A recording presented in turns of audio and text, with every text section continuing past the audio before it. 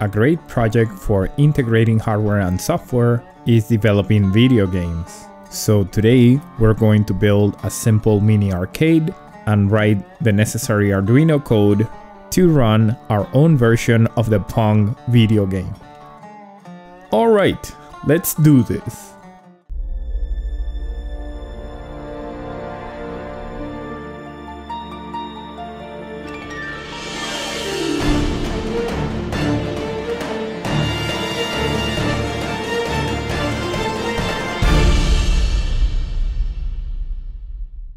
This video is sponsored by NextPCB. They're currently offering a free PCB prototype with your first order. The ordering process on their website is pretty straightforward. They offer a wide variety of options, and with their current promotions, you can get 5 prototypes for free. They're both ISO 14001 and 9001 certified, so they produce really high quality boards. Besides their manufacturing services, they also cover the processes of sourcing components, PCB manufacturing, assembly, testing, and final shipment.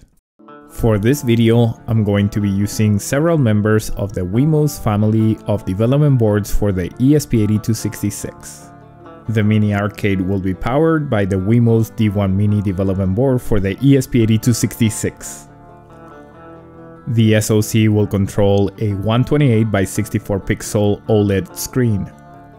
I'll also be using a couple of proto shields to mount the controls and the screen and also a battery shield so that I can make it portable. Everything will be mounted on a 2x1 dual base shield. As usual, you can find all of these components in my little Amazon shop. I'll leave a link in the description of the video. The assembly process takes a little bit of time, but it's pretty straightforward. I'll leave a link to the schematics in the description of the video. You're welcome to follow along or just skip ahead if you're more interested in the code side of things.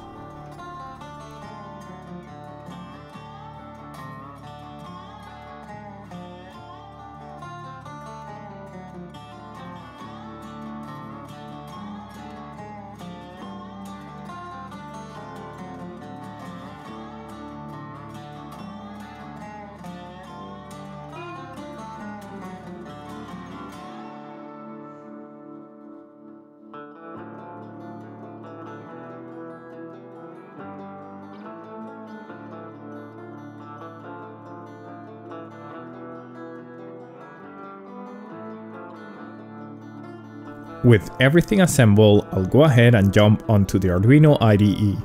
I'll create a new sketch, save it as wemos underscore pong, and using the library manager, I'll install the library that will allow me to control the OLED screen from the ESP8266. After installing the library, I'll be sure to include it in my sketch. The next thing I'll do is define the pins where I connected the buttons. Then in the setup function, I'll set the pins as inputs and I'll use the internal pull-up resistor. I'll call the begin method of the built-in serial object so that I have a way to print debug messages onto the serial monitor. Then in the loop function, the first thing I'll do is call a user-defined function that I'll name move and I'll define that next. For now, in the move function, I'll simply print out a debug message to the serial monitor depending on which button is pressed. I'll then go ahead and connect the Wemos D1 Mini to the USB port of my computer. With the connection made, I'll use the Tools menu option to select the correct board and port for this setup. If I open the serial monitor, I should see the debug messages printed if everything is connected correctly. With the controls working, I can now test the OLED screen. Using the corresponding class for the particular screen that I have, I'll instantiate an object that I'll name OLED.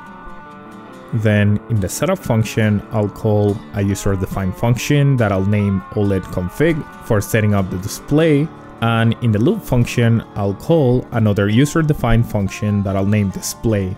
In OLED config, I'll call the begin method to start the communication with the screen. Then I'll set the font that I want to use. I'll choose a small one so that I can display the score and other things in the 128 by 64 pixels that I have available. I'll also set a few other parameters so that everything displays correctly on the screen.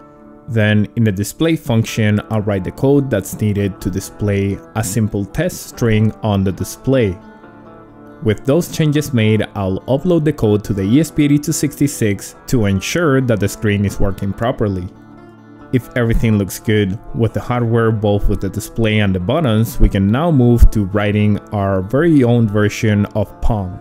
For the game, we'll need three main components, the ball, the players, which are the bars we move up and down, and the graphical user interface where we display the score and other things on the screen.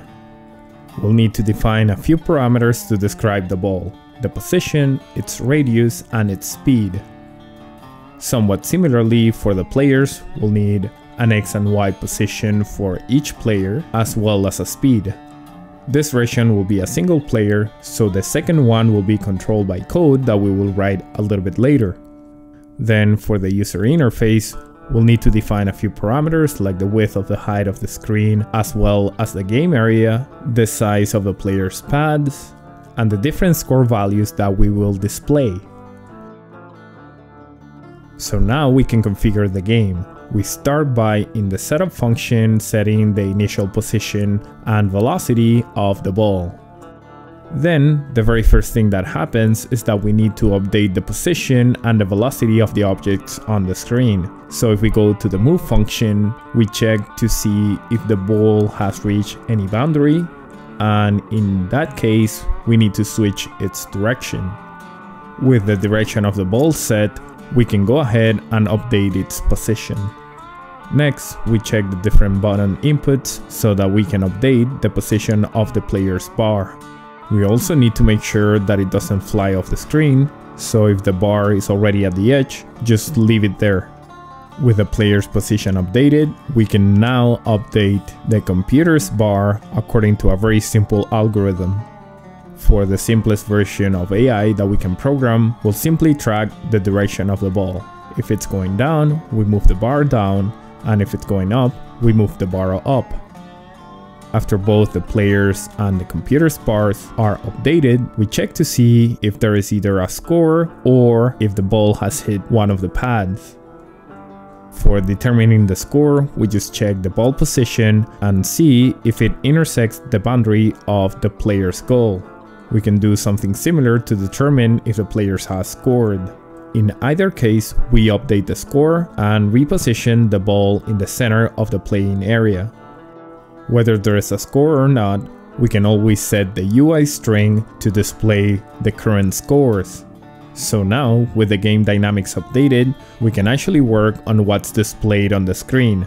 Instead of our test string, we'll want to display the ball, the string with the current score, the playing field, and the two pads or bars for the player and the computer.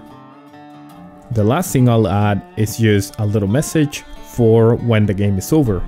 This can be a little different for when the computer wins versus when the player wins. I'll also add a pause until the player hits a key for resuming the game. So with everything programmed in, we can go ahead and upload the code and if we haven't made any typos, we should see a working version of the video game Pong. One thing we can do is increase the difficulty of the very simple AI that's controlling the computer's bar. One way to do this is to start keeping track of how long the rallies are. If the rally goes for a long time, the speed of the ball should increase. And because the computer has an advantage, then we can set a mercy rule so that the speed resets when the computer wins. For now, I'll just upload this new version of the code and if everything's working correctly, I should see the ball increase its speed as the rally goes on. So there you have it, to get a bit of an understanding how we can write software that works on a particular hardware, we've built a mini arcade and wrote software for our very own version of the video game Pong. If you like my videos, I invite you to my Patreon page where you can chip in a buck or two. That really helps me put in more time into the videos and release them quicker. But whatever you do, don't forget to like, subscribe, or leave me a comment. You can also interact with me on social media. I'm on Instagram, Twitter, and Facebook, and you can even use the community tab of the channel. Thank you for watching my videos and I will see you next time.